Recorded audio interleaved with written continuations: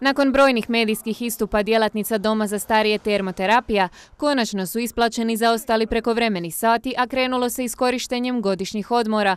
Podsjetimo, borbu za prava djelatnica javnost prati gotovo pet mjeseci, a cijelo to vrijeme, barem koliko je poznato, župan Nikola Dobroslavić termoterapiju nije posjetio. Ipak predstavnici Upravnog vijeća i županije obišli su ovu ustanovu s gospođom pročelnicom i još jednom stručnom djelatnicom upravnog odjela posjetili smo e, izvojenu jedinicu termoterapije Doma za starije Dubrovnik. E, moram vam reći da je dom u odličnom stanju u smislu održavanja, čistoće. Razgovarali smo sa svakim korisnikom, ušli smo u svaku korisničku sobu, pokucali, ušli, razgovarali s korisnicima da su e, korisnici, mogu reći, u većini zadovoljni. No da stanje i nije baš idealno, na jučerašnjoj sjednici Županijske skupštine natuknuo je Mostov Pero Jerković. Župan je pak sve demantirao.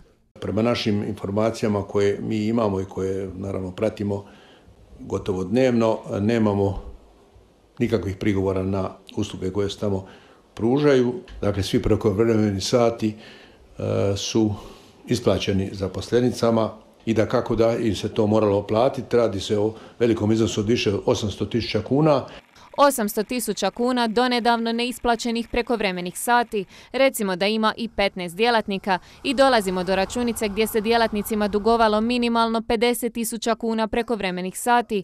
Podsjetimo kako su djelatnice isticale da se za 48 korisnika zbog manjka radnika u smjeni brinu dvije djelatnice. U međuvremenu čeka se popravak lifta kao i isplata COVID dodataka. Htjela bi reći da COVID dodatak nije apsolutno zakonsko pravo jer se odluka ministarstva o COVID dodatku odnosila na ustanove kojima je osnivač država. Ovom domu je osnivač županija, e, no bez obzira na to odluka, odluka osnivača i odluka upravnog vijeća iza koje čvrsto stojimo je da djelatnicima koji su to zaslužili u mjesecima kada su radili sa COVID pozitivnim korisnicima treba isplatiti COVID dodatak i ja vjerujem da će se to sa sljedećom plaćom i učiniti. Inače, na čelu termoterapije sjedi HDZ-ova Marina Sambrajlo. Tijekom ovih mjeseci u više navrata su djelatnici, predstavnici sindikata, pa čak i političari, tražili njezinu smjenu. Kako ranije, tako i jučer župan svojoj stranačkoj kolegici čuva leđa. E, moram reći ovdje vrlo otvoreno i javno, ne ide to tako. Ne može se nekoga razrešivati kad nekome padne na pamet. Dakle, moraju se ispuniti uvjeti koji dovode do raskida radnog odnosa.